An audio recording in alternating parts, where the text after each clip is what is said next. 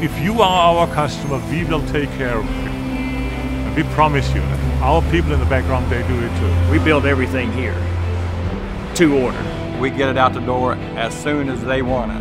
No matter what, if it's a one unit, a thousand units, they'll be treated the same way. We get calls all the time when, when a customer's in a breakdown situation and they have a competitor's gearbox in, in their application and they call they call that competitor and the competitor's like, well, you know, it's going to be three week lead time. This customer's losing money. And that's huge to people because their machine's broken down and until they get that part, they can't run their machines. And we're the people that they know they can rely on to get a very, very quick solution, get them back up and running. We talk to every gearbox manufacturer in the States and overseas and every one of them would come in price, price, price. That's what it is. That's the most important thing in the world. Stober comes in and says, let's understand exactly what you're doing. They have the uh, German legacy design behind them. Stober has innovated industrial gearing from the very beginning.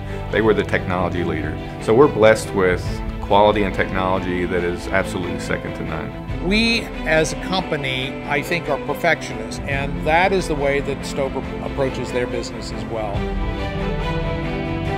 Today, we're trying to make more and more parts over here uh, due to shipping times, being more responsive to our customers. It's never been to be the very big one, the biggest one on the market. We want to be very solid. People could trust in us. We also use the best oil, the best seals, the best bearings. In the long run, you're going to end up saving money because of efficiency, uh, no breakdown situations, no no uh, stoppage of productivity time. Yeah, when we have customers come and visit the the factory here in Maysville, it's the people that's working here that closes the deal. Once they go through and they see how well organized our plant is, how clean it is, and how efficient it is, they say, "Hey, these people really care." But if you take the, the, the product quality in addition to the quality of the people, then we are the best. Then we are the best.